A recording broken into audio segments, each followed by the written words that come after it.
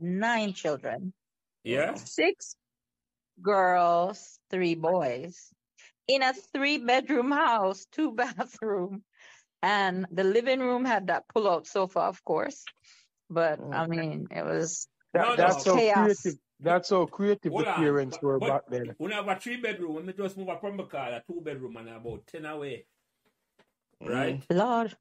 so, me have two sister and brother and I have cousin and auntie. Mm. And it was the neatest house, right? Yeah. well, I was the I baby. so- mean, neat as in nothing was laying around because when you're on top of one another, yeah, you yeah, have yeah. to stay neat. Yeah, yeah, Yeah. yeah, yeah. So remember to like, share, and subscribe these Pembroke Hall Memories podcasts so neither you nor your friends will miss another memorable conversation. Thank you.